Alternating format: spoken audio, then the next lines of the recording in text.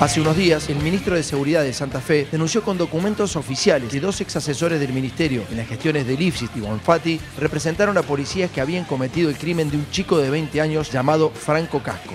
El cuerpo sin vida del muchacho apareció en el río Paraná luego de haber sido detenido por averiguación de antecedentes.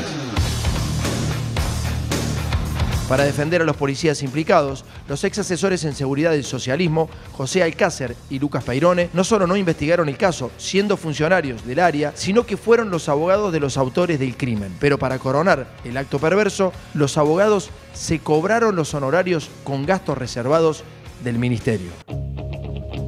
José Alcácer estaba tan cebado que pese a ser asesor del gobierno en seguridad desde el 14 de julio de 2014, al mismo tiempo representaba a uno de los principales narcos de Rosario, Gabriel Sili.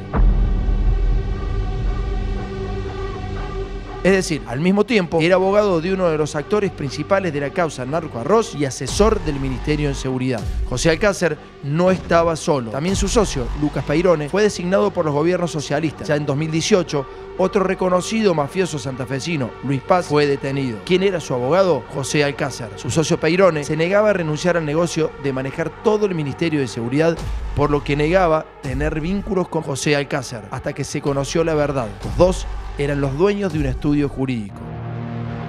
Al tiempo de detectarse los vínculos narcos con funcionarios socialistas, cae otro narco de la provincia. Esta vez fue el turno de uno de los principales, Esteban Alvarado. Su abogado también cayó preso. ¿Quién lo defiende? Lucas Peirone, el ex asesor de los gobernadores Lipsit y Bonfatti.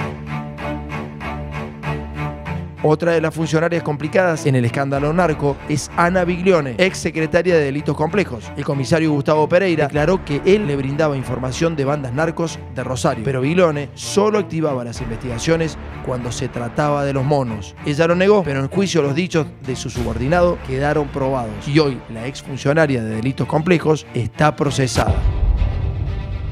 Así trabajaban los ex funcionarios con los narcotraficantes.